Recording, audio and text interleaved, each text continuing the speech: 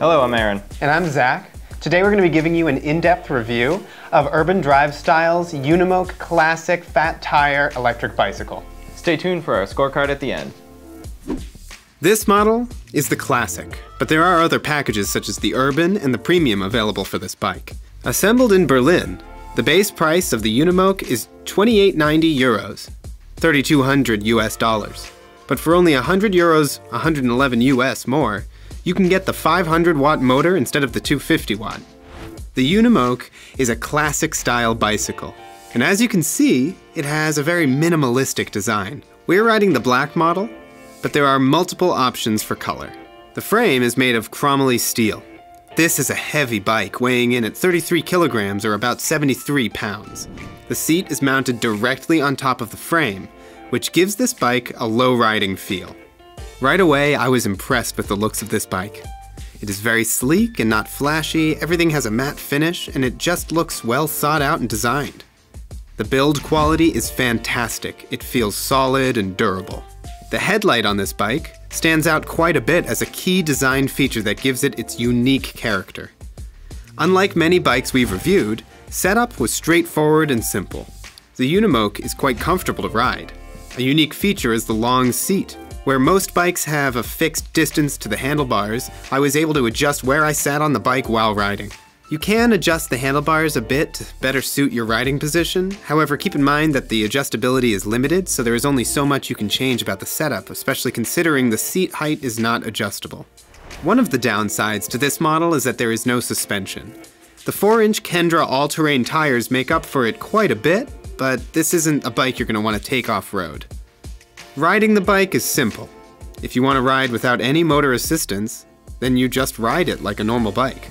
If you want the pedal assist, press and hold the power button until the display turns on, then using the plus and minus buttons, adjust the level of pedal assist you want. 1 is very low pedal assist, and 9 is the highest level. There is a zero assist mode in case you still want to view your speed while manually riding the bike. Removing and installing the battery is fairly straightforward. Lift up the seat, turn the key to the unlock position, then remove the key and pull the battery out of the bike.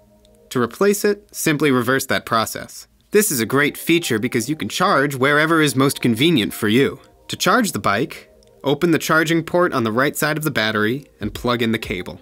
Weighing in at just under 10 pounds or 4.5 kilograms, the UNI Moke has a Silverfish 48 volt 14.5 amp hour lithium ion battery powered by Samsung's 18650 cells, which charges in about 3 to 4 hours. To turn on the headlight, press and hold the plus button until it comes on. The information displayed on screen is easy to understand. The mode, battery level, speed, time, and trip distance are all visible. The UNI Moke is pretty fast for a small, fat tire bike reaching a digitally limited top speed of 20 miles per hour. Acceleration using the throttle in the highest mode will get you up to speed fairly quickly, and pedaling with the assist on will do it even quicker. The Tektro hydraulic brakes take it to the next level, giving us full braking confidence with short braking distances. The UNI Moke has seven gears, with a Shimano shifter and derailleur, which honestly I didn't pay any attention to as the assist is so powerful that I just set it and forget it at the highest gear.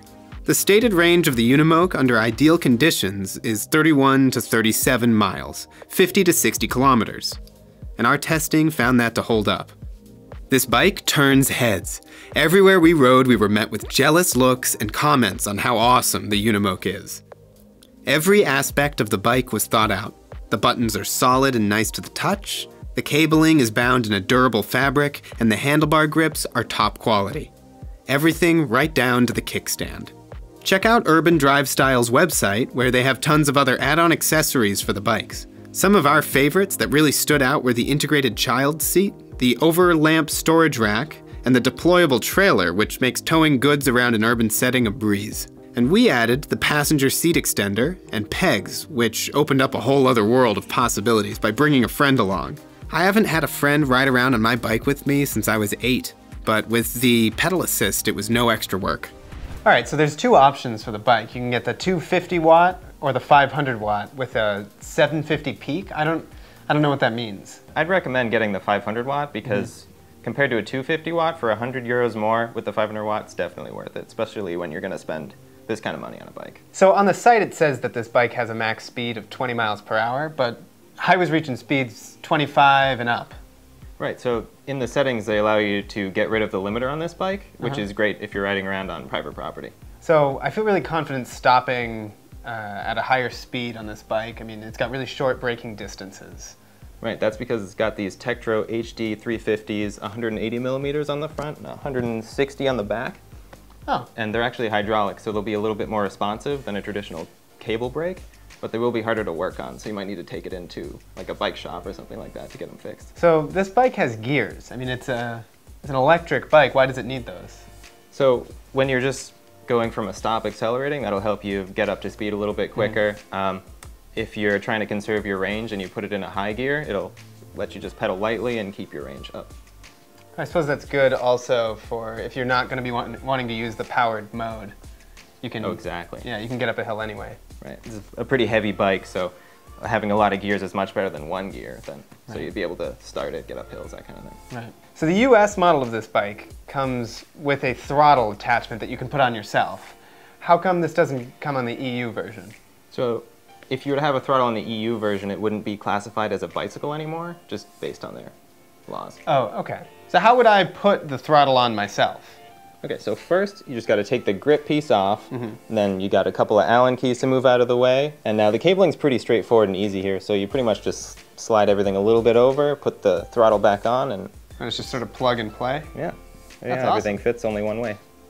We rate products on our six point scale. We give the UNI Moke an 8 for comfort. Adding shocks would have boosted this rating. For build quality, 9. They put a lot of work into a solid bike. Aesthetics, 9. This thing turns heads. Performance, 9. This is where the bike really stands out. If you have the money, Urban Drivestyle has taken the time to offer entirely customized accessories that will make this bike anything that you really need it to be. A solid 10. Overall value, 7. There are electric bikes out there with similar stats for cheaper. However, you'd be hard pressed to find them with such style and quality. If you're looking for a high end electric bike packed with power, the option to expand, and a style that's going to stand out, you're going to want to check out Urban Drivestyle's Unimoke. Thank you for watching Now You Know. For more tech reviews, subscribe below. Please like, share, and comment any tech you'd like to see us review in the future.